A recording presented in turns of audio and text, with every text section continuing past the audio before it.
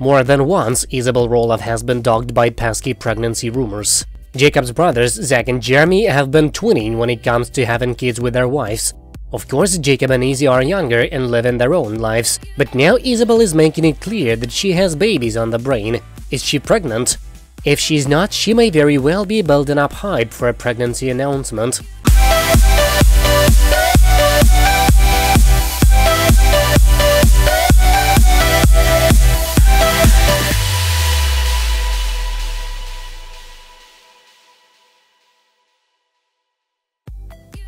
In a recent post, Isabel wrote about feeling ready to have a baby. Isabel made it clear that she wants kids but is nervous about the decision. That's very good, too many people take this decision too lightly. Others also make the mistake of having children before they are ready.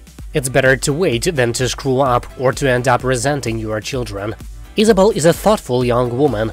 She also made it clear to her followers that she has ideas about the future Izzy would love to move to Roloff Farms and live there with her husband and with their future children. She also discussed the idea of traveling around with her family in the future. After all, she and Jacob did plenty of that when Jacob turned 18 and left the farm. But recently, Izzy's posts have leaned in one direction in particular. Isabel shared a number of glimpses of, well, mothers to her Instagram stories. The moms photographed and filmed with their babies were presented without context. It seems that Izzy is just fine with stirring up interest. Of course, in the meantime, Jacob has been making fans of Aries explode. Specifically, he's been an adorable uncle to his nibblings, that is, his nieces and nephews. He's very close with his family, especially Zach and Tori's kids, Jackson and Lilah. Jacob is often seen hanging out with his eldest nephew and youngest niece. They absolutely adore their uncle in return. Fans see how good he is with his nibblings and look forward to what an amazing dad he could be. And that, Isabel is in total agreement. She has shared that she has made the same observation.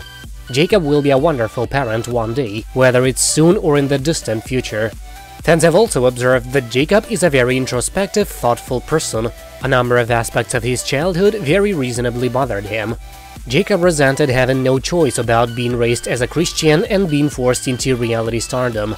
Parents with unhappy childhoods often have two choices. They can repeat their parents' mistakes, or they can consciously give their kids better childhoods than they had. Jacob will certainly opt for the latter, and fans are eager to see it whenever that happens.